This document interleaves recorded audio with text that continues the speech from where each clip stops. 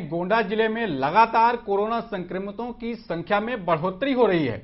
ज़िले में अब कोरोना के छह नए मामले सामने आए हैं, जिनमें एक यूपी पुलिस में तैनात सिपाही भी शामिल है। नए मरीजों की पुष्टि के बाद ज़िले में कोरोना मरीजों की संख्या बढ़कर छिहत्तर हो गई है। राहत की बात यह है कि अब तक कोरोना के 46 मरीज़ पूरी तरह ठीक हो चुके हैं। फ़िलहाल ज़िले में कोरोना के 30 एक्टिव केस हैं वहीं कोरोना महामारी को फैलने से रोकने के लिए प्रशासन हर संभव प्रयास कर रहा है। सौ फ़ीसदी प्लेसमेंट के साथ हम देंगे आपको मौका। Live 24 media institute admission open registration के लिए कॉल करें। Nine five six zero four six four one seven zero